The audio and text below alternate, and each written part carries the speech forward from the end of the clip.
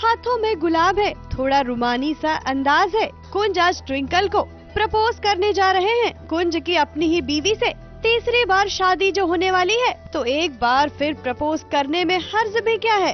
वैसे भी, रोमांस और शादी का ट्रैक सीरियल में लाया ही इसीलिए जाता है, क्योंकि ये रोमांटिक सीन शादी की रस्में और नाचना गाना देखकर दर्शक को भी फील गुड होता है।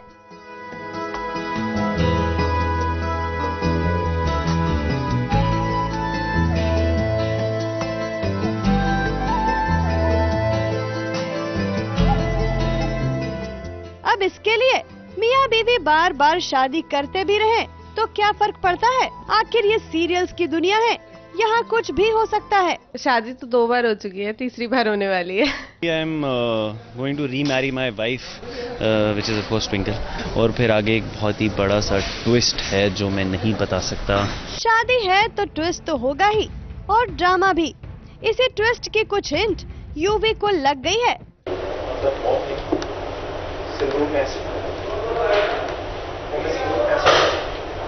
यूवी वापस से नेगेटिव हो गया है शायद यहाँ दिखा रहा ड्रामा कर रहा था अच्छा होने का यहाँ फिर शायद अ, बेटा नहीं तो उसकी माँ होगी। आई थिंक यही दोनों प्रोमिनेंट नेगेटिव कैरेक्टर्स हैं हमारे शो में।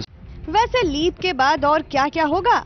लीप के बाद टशने इश्क ही देखने को मिलेगा आपको टशन और इश्क। टशन मेरा यूवी के साथ रहा है और इश्क मेरा कुंज के साथ तो वही होगा। इसका मतलब तो ये है कि कुंज ट्विंकल और यूवी के लव ट्रायंगल की ये कहानी लीप और ड्रामे के बाद फिर से वहीं जा पहुंचेगी जहाँ से शुरू हुई थी। फ़िलहाल तो दर्शक काले साय का राज जानना चाहता है। उसके बारे में हमें भी नहीं पता और ये राज बहुत लंबा चलने वाला है। हमें से किसी को पता नहीं चलेगा वो काली परछाई किसकी थी। ये काला साया किसका है ये राज चाहे बाद में खुले। लेकिन ट्विंकल हम आपको बता देते हैं कि ये काला साया आपको ही नुकसान पहुँचाने वाला है। इसलिए थोड़ा होशियार रहिएगा। ABP News Report.